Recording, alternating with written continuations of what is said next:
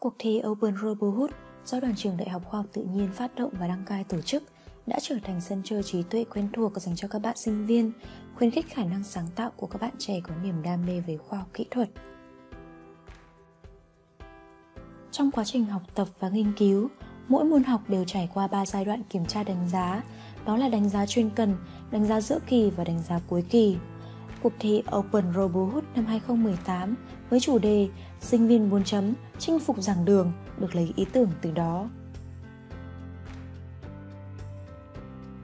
Để hoàn thành mục tiêu chinh phục được giảng đường, một đội chơi sẽ phải chế tạo ra những chú robot thực hiện các nhiệm vụ trong mỗi môn học.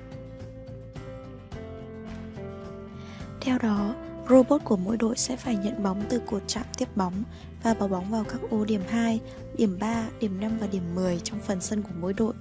Trong thời gian thi đấu, đội nào giành được nhiều điểm hơn sẽ là đội giành chiến thắng. Luật chơi được mô tả như sau. Về sân thi đấu, sân thi đấu có kích thước 2 x 4,5m gồm có hai phần.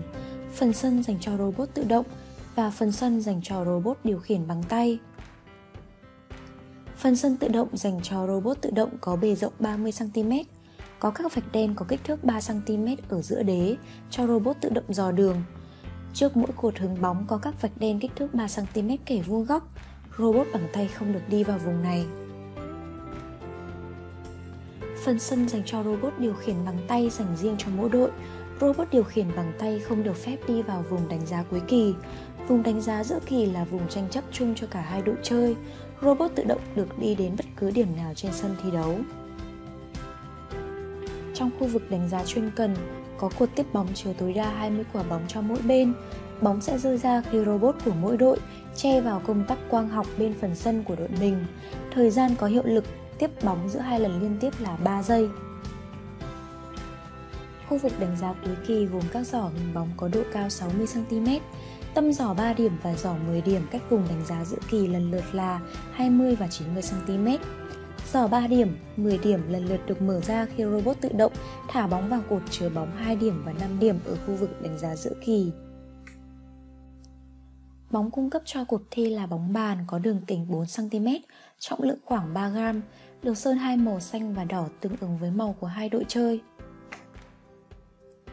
Trước khi trận đấu bắt đầu, mỗi đội chơi được phép trang bị sẵn một quả bóng, được xem như đồ dùng học tập của sinh viên khi lên giảng đường. Robot tự động sẽ đem bóng vào vùng đánh giá giữa kỳ, bỏ vào các cột hướng bóng để mở giỏ đựng bóng trong vùng đánh giá giữa kỳ. Bên cạnh đó, robot bằng tay sẽ phải thực hiện lấy bóng trong vùng đánh giá chuyên cần và đưa bóng vào các giỏ hứng bóng ở khu vực đánh giá cuối kỳ. Điểm số được tích lũy tương ứng với số điểm tại các cột chứa bóng và giỏ hứng bóng mà robot của các đội đưa được bóng vào. Đội thắng sẽ giành được 3 điểm trận và số điểm bóng tương ứng. Thời gian cho mỗi trận đấu là 3 phút. Nếu đội chơi lần lượt đạt được 2 điểm, 3 điểm 5 điểm và 10 điểm sẽ giành chiến thắng tuyệt đối và kết thúc trận đấu. Điểm bóng của đội còn lại sẽ được tính bằng tổng điểm ghi được trên sân. Đội giành chiến thắng tuyệt đối sẽ ghi được 3 điểm trận và 99 điểm bóng. Đội thắng tuyệt đối được vinh danh như sinh viên hoàn thành xuất sắc môn học với điểm A+. Về đặc điểm của robot, nguồn điện cung cấp cho robot không được vượt quá 24V có kích thước khi xuất phát không quá 30 x 30 x 30 cm.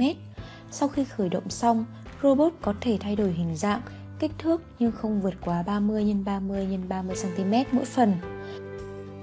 Không hạn chế số lượng đối với robot tự động, nhưng chỉ duy nhất một robot bằng tay phải được điều khiển không dây, sóng RF, Bluetooth, hồng ngoại, vân vân. Kế hoạch thực hiện Địa điểm tổ chức Trường Đại học Khoa học Tự nhiên Đại học Quốc gia Hà Nội. Thời gian đăng ký bắt đầu từ ngày 30 tháng 1 năm 2018 đến hết ngày 15 tháng 3 năm 2018 dưới các hình thức sau. Đăng ký trực tuyến hoặc đăng ký qua email. Đăng ký trực tiếp tại văn phòng đoàn trường. Thời gian training từ ngày 15 tháng 3 năm 2018 đến hết ngày 14 tháng 4 năm 2018 bốc thăm và thi đấu vòng loại ngày dự kiến là ngày 25 tháng 4 năm 2018. Thi đấu chung kết dự kiến ngày 25 tháng 4 đến ngày 5 tháng 5 năm 2018.